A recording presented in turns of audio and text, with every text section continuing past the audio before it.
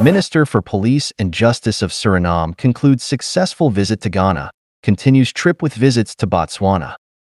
Han Kenneth Amoksi, the Minister of Justice and Police of Suriname, has concluded a successful visit to Ghana this week, where he met with the Attorney General and the Foreign Affairs Ministry in Ghana to further strengthen the partnership between our two countries. The minister delivered remarks to the Suriname ambassador to Ghana, Her Excellency Fidelia Graand-Galon about her good works in Ghana for the country of Suriname and the Suriname's vision and approach to Africa. And at Cape Coast Castle spoke about the brutality and legacy of the transatlantic slave trade and the importance of remembering its impact on our history and current fight for justice. The protocol established by the ambassador and also the ambassador for the Americas uh, let me say that I'm very happy to be here. I'm be accompanied by the second in command, uh, the police force of Suriname, Commissioner of Police uh, Melvin Pinas. Uh, for me, it's a very great experience to, to be here as a descendant from, uh, from uh, you guys, to say so. and it, it, it, took us like 500 years to to be here again. Yesterday evening, I visited the the fort where we they gathered the the slaves together on their their journey to to other places in the world. Uh, today we have a scattered uh, black people in, in, in, in the Americas. Uh, everywhere in the world we have black people. So for me, to set foot on, on African soil, uh, it's, uh, it means a lot to me.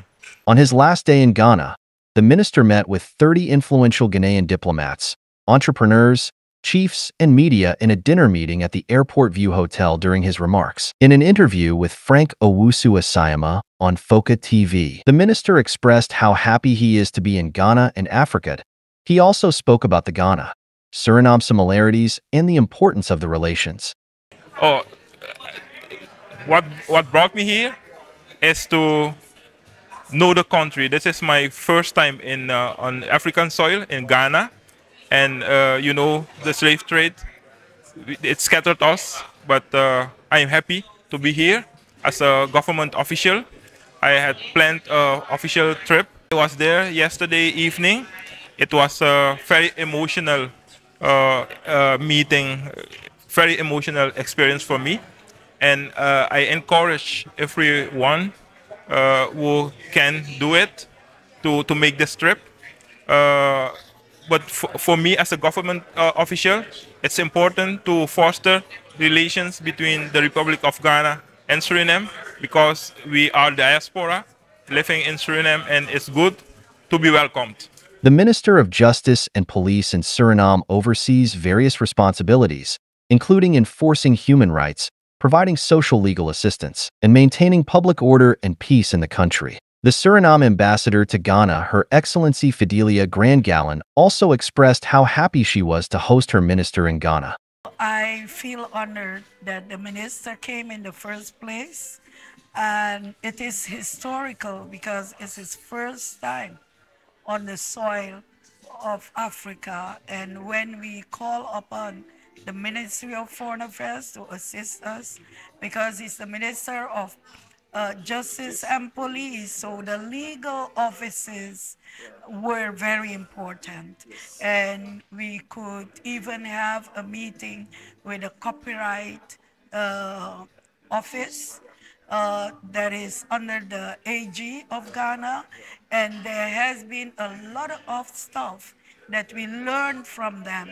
And Suriname will continue to come back because the system that will make things happen for the best of the people of Ghana and also Suriname because we are interrelated, whether official or unofficial. One of the most important thing of uh, copyright is that who created something. But uh, we came to the conclusion to the conclusion that uh, Suriname and Ghana has common folklore, which is the Anansi story, because we know it, we have it. We didn't come to Ghana to learn, but we took it there because it is ours and we still have it. So if Ghana say, I'm the land of Anansi, Suriname is saying that too. And the diaspora, a lot of countries, especially in the Caribbean, have that too. And we all own it. So it's folklore that is owned commonly by countries and people of different countries. In this space, Suriname and Ghana, because we feel like our Anansi story are the real one because we talk, uh, we learn.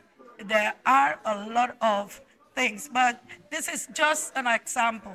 There are many, many fields, especially the, the, the copyright for books that has been written and also movies, who wrote the story, because some stories can be copied, who has it, and how can we deal with it? How can we promote one another, and how can we help one another in those fields of law and order and everything?